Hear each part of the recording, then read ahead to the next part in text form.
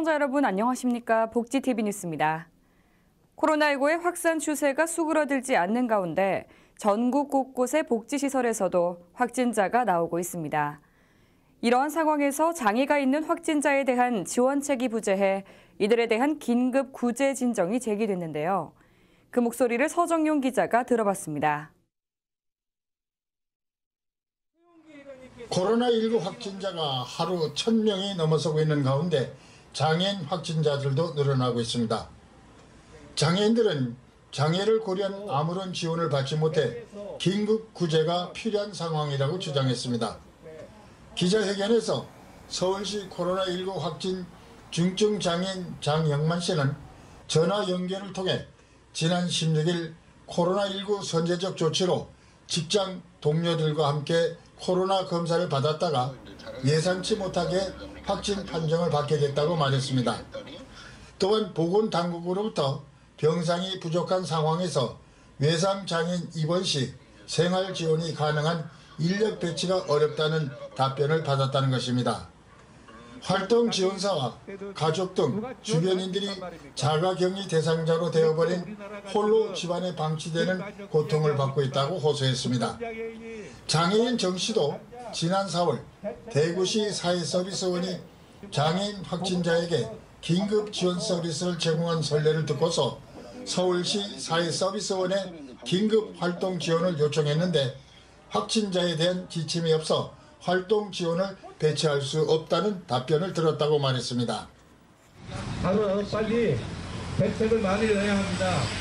그래서 우리는 이 지금 이렇게 무방비 상태로 있는 이 장애인의 생명 존중을 위해서라도 빨리 대책을 수립해야 함을 촉구하기 위해서 우리 국가인권위원회 긴급구제 신청을 하기 위해서 이 자리에 왔습니다.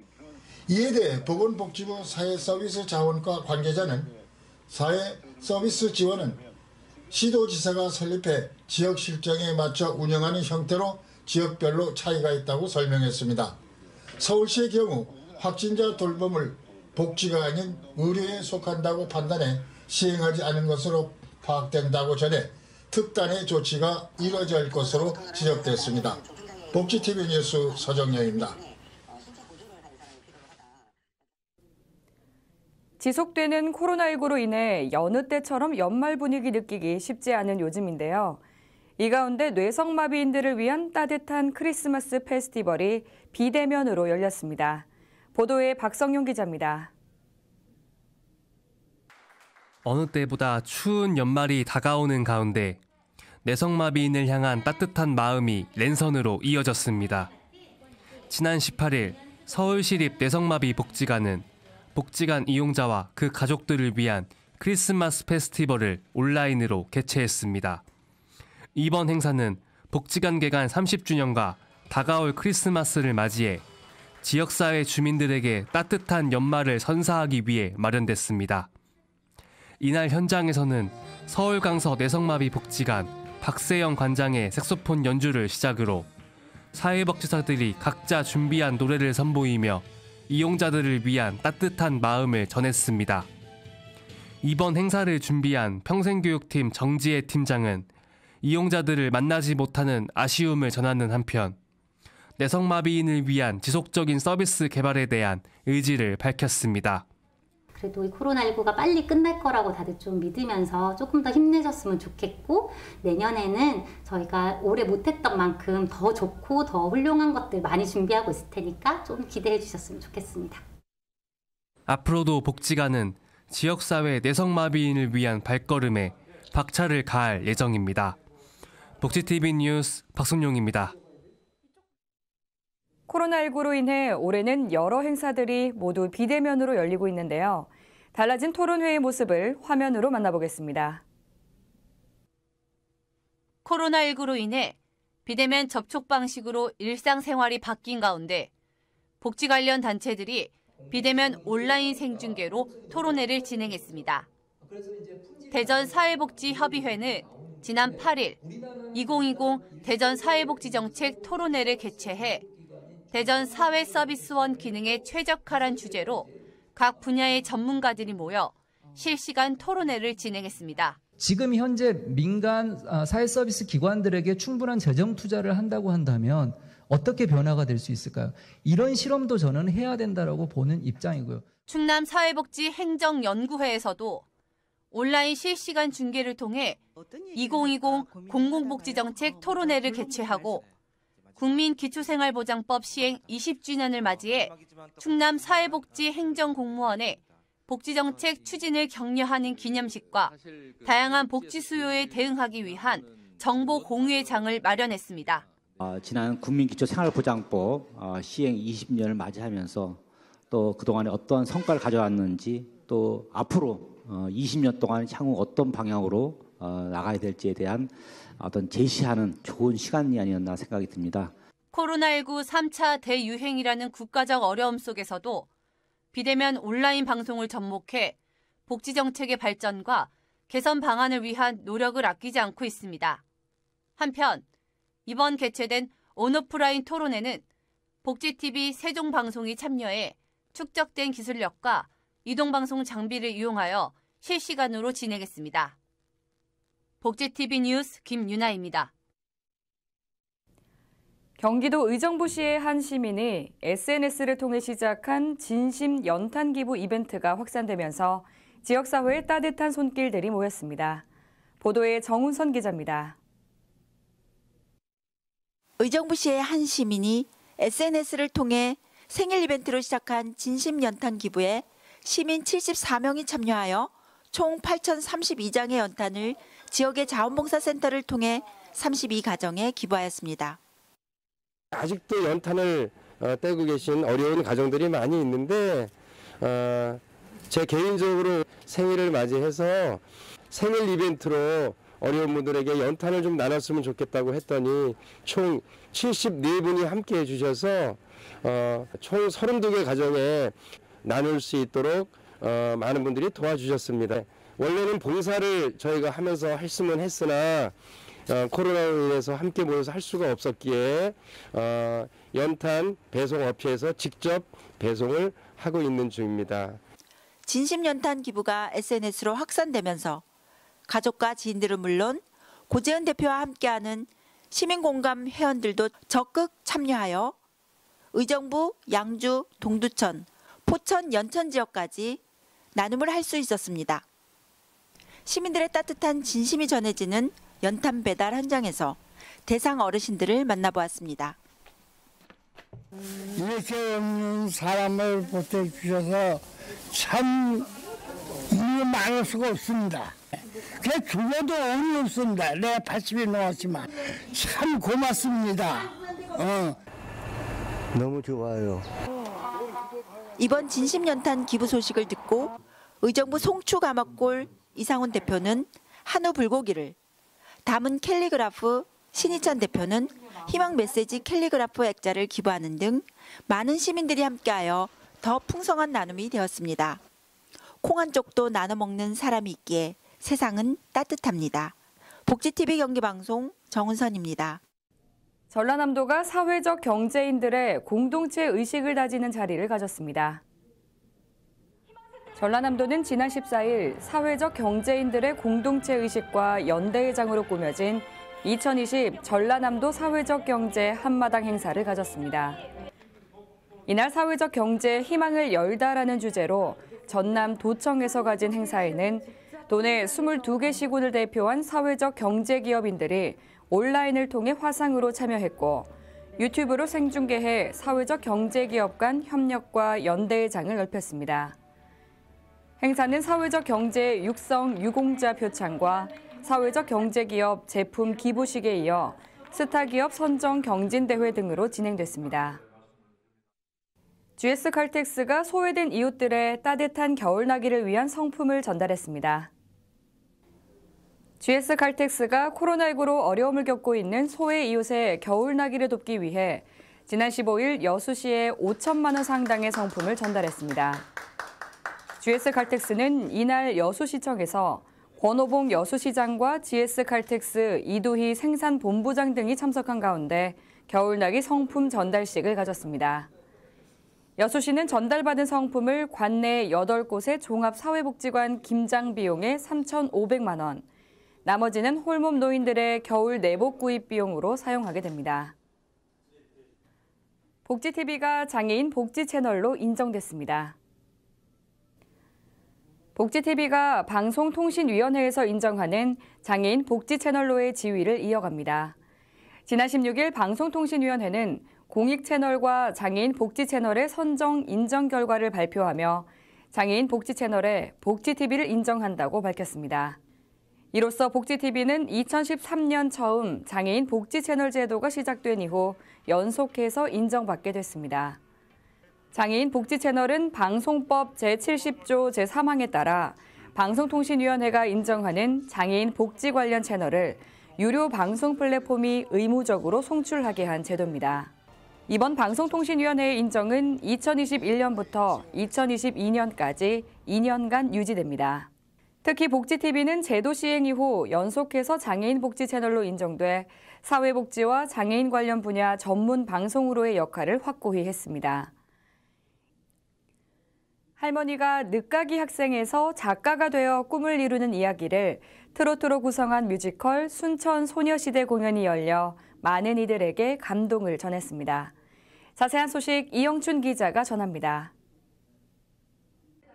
순천시 할머니들이 늦깎이 학생에서 작가가 되기까지의 이야기를 트롯으로 구성한 뮤지컬 순천 소녀시대 공연이 지난 17일 순천에서 열려 진한 감동의 무대가 됐습니다.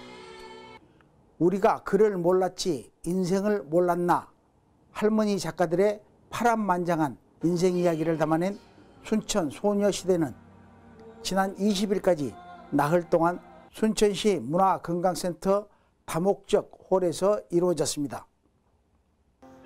6.25 전쟁이 끝나고 순천의 어느 마을 한 동네에서 함께 자란 세 소녀들이 할머니가 돼 순천시 평생학습 프로그램에 참여해 늦깎이 학생에서 작가가 되기까지의 이야기가 작품의 모티브입니다. 글도 그림도 몰랐던 할머니 작가들의 삶을 바탕으로 가난과 가부장적 풍조 속에 가망눈으로 살아야 했던 인생의 회한과 슬픔, 도전 등 여자의 감정을 담담하게 그려낸 뮤지컬은 관람객들의 마음에 작은 위로와 따뜻한 온기를 전해줬습니다. 순천시는 코로나19로 인해 공연장 좌석 띄우기와 방역 소독, 발열 체크, 마스크 착용 등 사회적 거리두기로 공연장 수칙을 철저히 지켰습니다. 장기간 코로나19로 지친 시민들의 마음에 작은 위로를 주기 위해 이번 공연을 마련하게 됐다는 순천시는 내년 제7회 대한민국 평생학습 박람회를 통해 전 국민에게 선보일 계획입니다. 복지TV 뉴스 이영춘입니다. 지역의 문화가 소식 전해드립니다. 다섯 명의 필묵 예술가들이 자신의 가치관을 서예 작품을 통해 드러낸 전시회가 전남 순천에서 열렸습니다. 이소영 기자가 전합니다. 순천 목인 미술관에서는 지난 6일부터 여여 창립전이 열리고 있습니다. 여여를 바라보는 눈배, 이른바 있는 그대로의 모습이라는 주제로 열린 이번 창립전에는 배현숙, 남부원, 이장욱, 김진숙, 최민숙 작가 등 다섯 명의 필묵 예술가들이 참여를 하고 있습니다. 이번 전시회는 오는 31일까지 작가들만의 필묵법으로 생각과 감정을 표현한 서예 예술 작품 30여 점이 선을 보입니다. 저희들이 목인미술관 인문학을 인연으로 어, 젊은 작가들로 구성하여 교수님과 어, 지난 3년 동안 서체별 임서와 임서를 바탕으로 어, 직접 공부에 게을리하지 않고 자성찰을 바탕에 두고 이렇게 전시회를 열게 되었습니다. 그리고 서예는 문자를 떠나서는 할 수 없는 예술이라고 이렇게 배웠고 글씨는 그 사람의 마음을 그린 것이다 라고도 했고요. 아, 그래서 서예는 마음을 표현하는 표현 예술이라고도 할 수 있겠습니다. 끊임없는 학문적 연구와 작가들의 품위 있는 식견, 자유로운 필목 표현을 통해 자성과 성찰의 기회, 그리고 여유로움으로 같은 곳을 바라보는 여여의 뜻을 화폭에 고스란히 담아냈습니다. 그래서 이제 저 같은 경우는 어, 서예를 전공한 서예가이기도 하지만 어, 캘리그라피로도 활동을 많이 하고 있어서 한글로 표현하려고 작품을 준비를 했어요. 그래서 저도 나름대로 저만의 색깔을 보여주기 위해서 한글로 이렇게 좀 어, 서예 필법을 응용해서 그 다음에 그 이미지를 더 많이 생각해서 약간 그림 같은 임의적인 글씨를 쓰려고 이번에 작업을 해봤습니다. 문자를 활용한 동양 문화 예술이 깃든 서예 작품들은 작품 속에서 문자의 뜻과 형태를 활용한 작가들의 가치관과 감정들이 조형의 미로 자유롭게 표현돼 관람객들의 시선을 사로잡고 있습니다. 예술혼이 빚은 은은한 먹향기가 사람들의 눈과 마음속에서 더욱 맑고 깨끗한 향기로 오랫동안 남기를 기대합니다. 복지TV 뉴스 이소연입니다. 이어서 오늘도 한마디입니다. 오늘도 한마디 정경수입니다. 코로나 사태로 인한 어려움과 고통을 받으면서도 국민들은 그래도 K-방역의 우수성과 활동에 감사하면서 방역 당국을 믿고 백신에 대한 기대가 커지고 있습니다. 정부는 지난 7월부터 코로나 백신 시장에서 구매 협상을 계속하고 있다고 밝혔고 내년 초에는 백신 접종이 가능할 것으로 전해졌습니다. 그러나 정부는 12월에 완벽한 백신이 나오질 않아 물량이 없다는 결론을 내리고 앞으로 계속 코로나 백신 확보에 최선을 다할 것이니 기다리는 수밖에 없다고 밝히고 있습니다. 자, 그런데 현재 미국이나 영국, 프랑스, 캐나다 등 32여 개 국가들은 이미 모더나, 아스트라제네카, 화이자 등에서 몇억 명분씩 구입을 해서 국민들에게 접종을 실시하고 있습니다. 그럼 30여 개의 국들은 위험 부담을 감수하면서 접종한다는 것으로 생각하라는 말입니까? 물론 국민들에게 접종할 백신 구매이기에 심사숙고해야 할 사항이지만은 코로나 확진자가 하루에 천 명이 넘게 확산되고 있는 이 마당에 불안한 것입니다. 이제 정부도 확산을 막기 위한 조치로 3단계까지 격상을 해야 할 처지에 왔습니다. 그것은 코로나 확진자 확산을 막을 방법은 백신 접종만이 유일한 방법이기 때문입니다.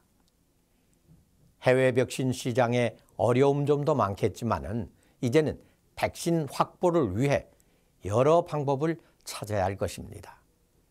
이제 와서 모더나 노바백스와 새로이 백신 구매를 협의 중이라니 국민들은 내년 초부터 접종할 것으로 기대를 했는데 이것도 불투명하다는 말입니까?